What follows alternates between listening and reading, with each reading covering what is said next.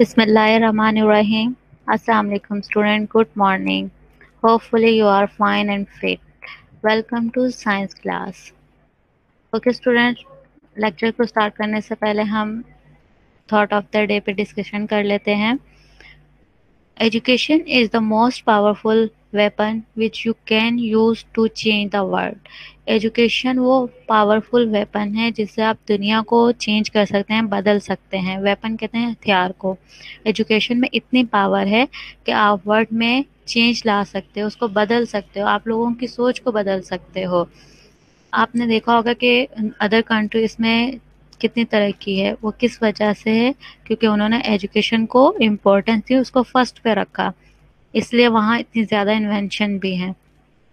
तो हमें भी चाहिए स्टूडेंट एजुकेशन हासिल करें, अपनी कंट्री के लिए सर्व करें, अपनी कंट्री को चेंज करें। I hope you understand my point okay student now we are going to start our fifth lecture of science.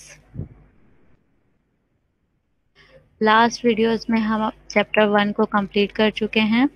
अब आपकी वर्कबुक के जो रिमेनिंग क्वेश्चन थे, आज उसको यहाँ पे सॉल्व करेंगे और ये चैप्टर आपका कंप्लीट हो जाएगा। वर्कबुक पेज नंबर सेवन पे क्वेश्चन नंबर वन है, solve the crossword puzzle आपको एक क्रॉस वर्ड पजल दिया गया है। ठीक है? यहाँ से भी एक वर्ड आएगा, फिर यहाँ से भी एक वर्ड आएगा। जो यहाँ सेंटर में एक अल्फ़ाबेट होगा, वो दोनों में कॉमन होगा। इसी तरह यहाँ पर एक वर्ड आएगा और यहाँ पे भी एक वर्ड आएगा। जो वर्ड यहाँ लिखे जाएँगे, उनमें एक के अल्फ़ाबेट कॉमन होगा। इसी तरह यहाँ पर भी होगा। इसलिए इसको क्रॉस वर्ड पजल कह रहे हैं, ठीक है?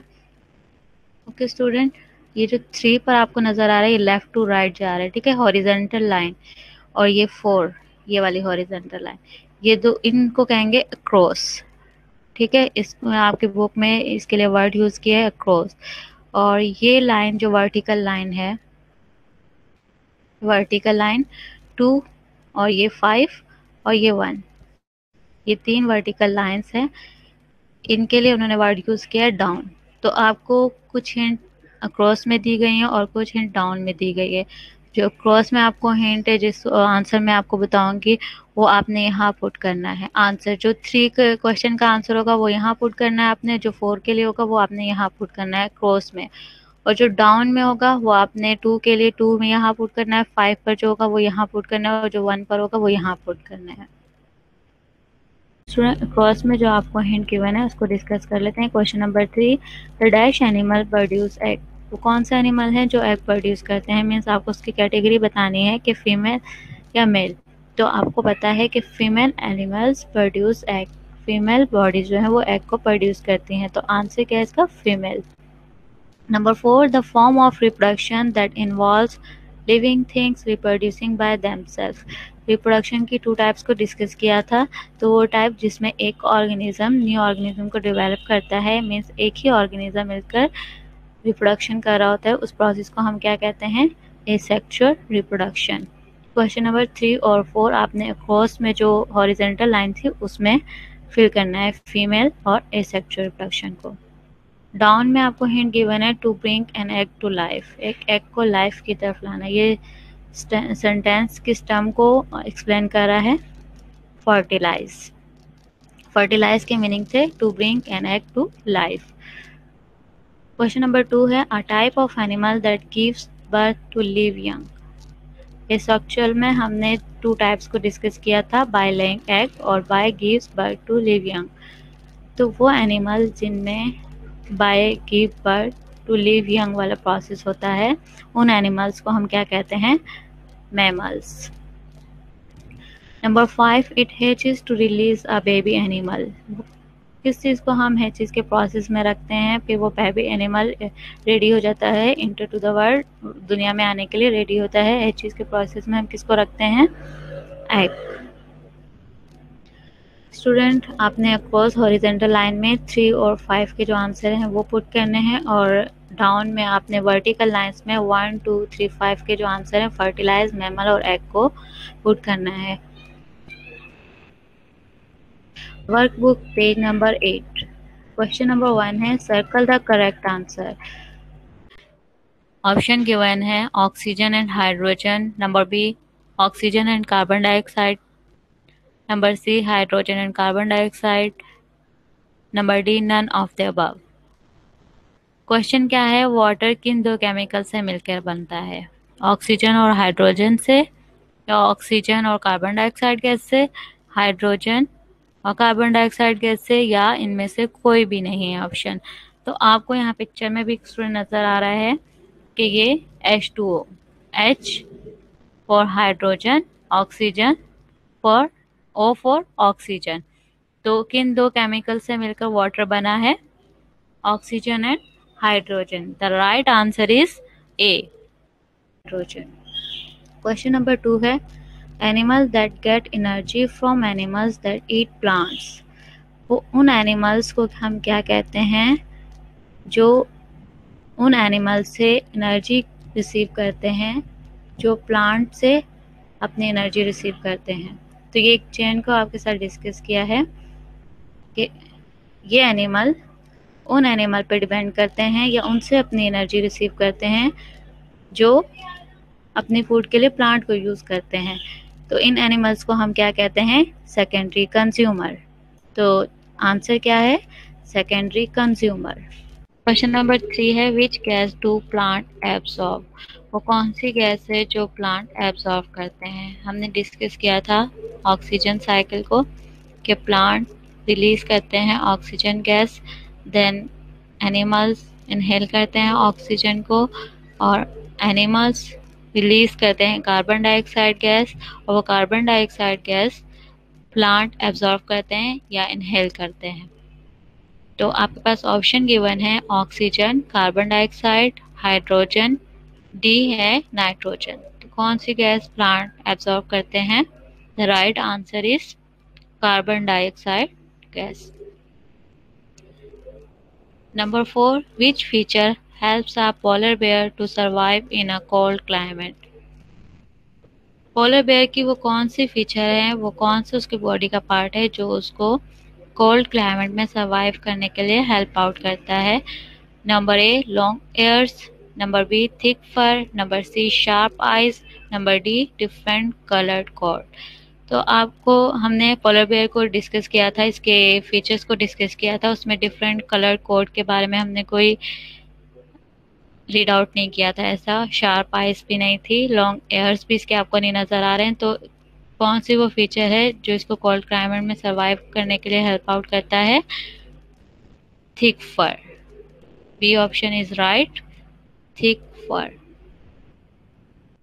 question number five है which of the following is true about animals movement आपको कुछ स्टेटमेंट गिवन है A animals move to find food and water B animals move to find shelter number C animals move to escape predators. Number D all of the above. Question number five है कि animals movement किस वजह से करता है? Animals move करता है food को सर्च करने के लिए वाटर को सर्च करने के लिए. बी ऑप्शन है एनिमल मूवमेंट करते हैं शेल्टर को सर्च करने के लिए. नंबर सी है एनिमल मूव करते हैं प्रीडेटर से बचने के लिए. नंबर डी है कि वो तीनों ऑप्शन जो ऊपर आपको दिए गए हैं ए बी सी में, वो ऑल ऑफ़ द वो सब। तो आपको पता है कि एनिमल्स इन तमाम ऑप्शन जो आपको गिवन है, इनके लिए मूवमेंट करता है। तो the right answer is all of the above इन सब चीज़ों के लिए उन्हें मूवमेंट करनी होती है। नंबर सी नंबर सिक्स है question the process by which animal reproduce by them self is called इसको हम भी हमने डिस्कस किया कि वो एनिमल जिन, वो रिप्रोडक्शन का प्रोसेस जिसमें एक ऑर्गेनिज्म न्यू ऑर्गेनिज्म को डेवलप करता है, उसको हम क्या कहते हैं?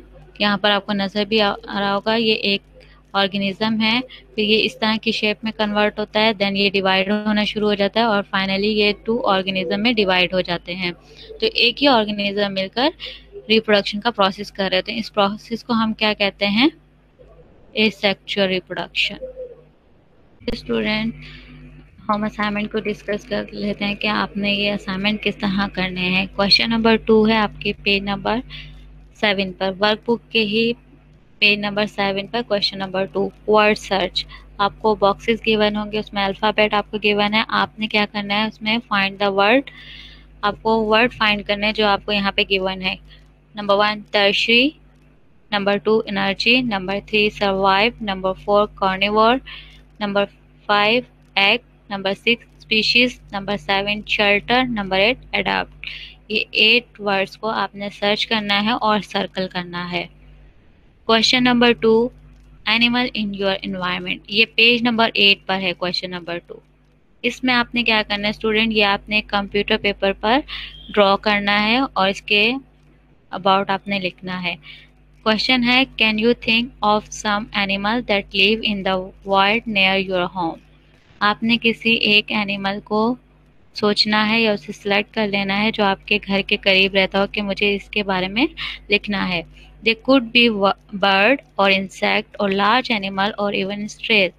तो वो एनिमल जिसके बारे में आप लिखना चाहते हैं, वो कोई बर्ड भी ले सकते हैं, आप इंसेक्ट भी ले सकते हैं या कोई लार्ज एनिमल या फिर आप स्ट्रे मीन्स डॉग वगैरह भी आप ले सकते हैं। काओ हॉर्स डॉग बर्ड कोई या इंसेक्ट किसी एक एनिमल को आप सिलेक्ट कर लें। Go outside and try to see one घर से बाहर जाएँ और इसको देखें। वॉच वट इट डस कि वो क्या करता है। Note what it looks like और वो किस तरह का दिखाई देता है, किस तरह, किसके जैसा आपको नज़र आता है। What are its most obvious feature और उसके वाजे फीचर या वो फीचर जो उसे दूसरे एनिमल से डिफरेंट करते हैं, उनको आपने डिस्कस करना है. देन ड्रॉ दिस एनिमल फिर आपने इसको कंप्यूटर पेपर पर इस एनिमल को ड्रॉ करना है.